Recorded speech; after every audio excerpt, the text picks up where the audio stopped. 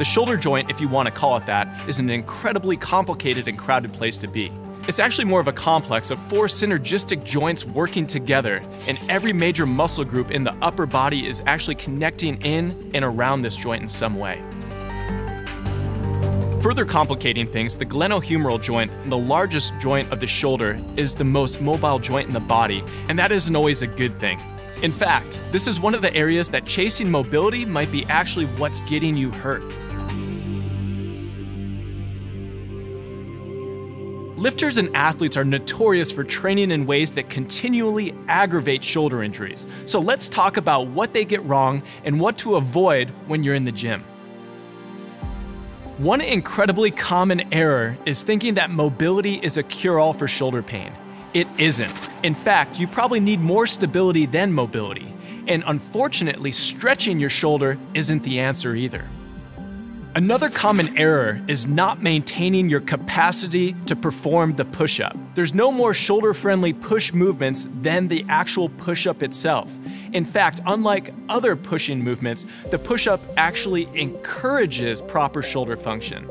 If you're chasing big bench press numbers, but you can't rock out a set of 10 to 15 perfect push-ups, you're setting yourself up for problems. I get it, it's fun to have a big bench or overhead press, but programming that leans too heavy into pushing movements is a big red flag for long-term shoulder health. You shouldn't be pushing just as much as you're pulling. Instead, you should be pulling far more than you're pushing to really adhere to pain-free shoulder training ratios.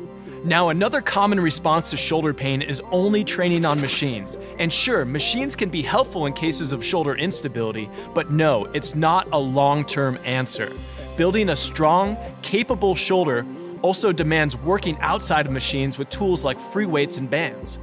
Another problem is training positions that might be fine for someone without shoulder pain, but not right for you. I'm thinking of stretch-based positions like those in a kipping pull-up or a muscle-up. These are going to be problematic positions for your shoulders when trained long-term. Here's another common problem. Submitting yourself to workouts, say a tough WOD, that makes requirements for the overhead position well beyond your physical capacities, or demands a lot of overhead stability when you're in a seriously fatigued state.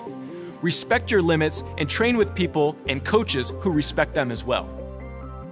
A final mistake, maybe the biggest one, is lifting through painful positions rather than looking for an intelligent alternative. It's up to you to modify your own training and to make the necessary changes for proper, pain-free mechanics, and I want to give you those tools to do it. I know that sounds like a lot, but all of this comes down to one thing, having a clear-cut why behind each and every movement in your training program.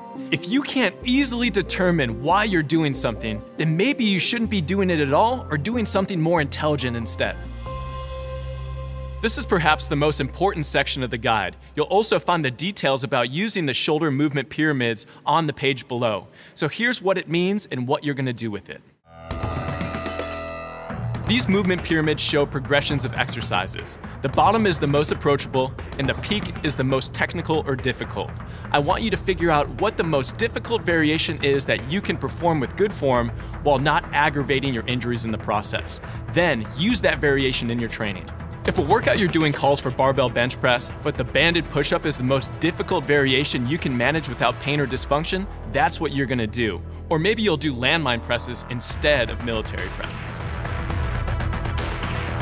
Same for pulls. If your program calls for nothing but vertical pulls like pull-ups or pull-downs, use row variations that hit that upper back and improve the training ratios I talked about earlier.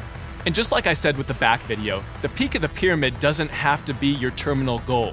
You can do just fine with landmine presses for a long, long time. If you start at the bottom, great. Own it, and don't be afraid to put them into any program, especially if the alternative is causing you pain or getting you hurt.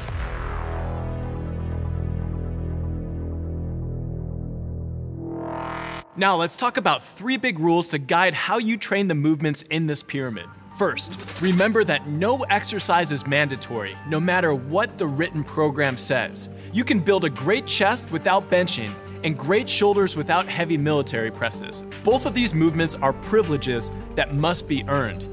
If you're not ready for them, then do what you're ready for. Second, your back is almost always part of the answer to what's going on in the shoulders. Put tons of volume there with bands, light weights, as well as heavier pulls. Embrace the healing power of the pump and isolation training.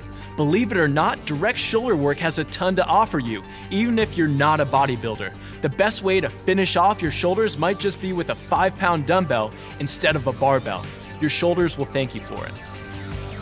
If there's one thing that I want you to come away with from this video, it's that shoulder pain is not a mandatory part of the athletic life. Too many times, people think that it's just something that we need to deal with or work around, when in actuality, they have more control over the situation than they realize. And just like the lower back, the solutions to shoulder pain brings many benefits far beyond just the shoulder.